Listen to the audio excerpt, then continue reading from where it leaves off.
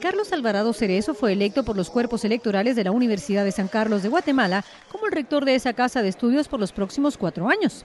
La elección se desarrolló en el Museo de la Universidad. Luego de conocer los resultados, 129 votos a favor, Alvarado celebró y ofreció impulsar una reforma universitaria genuina y con la participación de todos los sectores. Los desafíos del nuevo rector son grandes, según analistas, y de igual forma las expectativas que se tienen sobre su gestión, dado que su antecesor Estuardo Galvez tuvo propuestas similares que quedaron en deuda. Galvez fue señalado de dedicarse a conformar su partido político Pienso para incursionar en la política partidaria, como fue el caso de rectores que lo antecedieron en el cargo, como Efraín Medina y Luis Leal, que expertos señalaron de utilizar la universidad de plataforma. Expertos consultados por Publinews coincidieron en que el mayor reto de la nueva administración es el de mejorar la calidad educativa, la cual ha sido criticada de haber empeorado en los últimos años. Alvarado dijo que su principal reto es el de trabajar por la calidad académica y de vincular la investigación entre las unidades académicas con los posgrados para generar propuestas en beneficio de los guatemaltecos. Al ser consultado sobre la reforma universitaria que se ha venido posponiendo desde 1989, dijo que durante su gestión se apoyará este proceso pues es necesaria para alcanzar los cambios.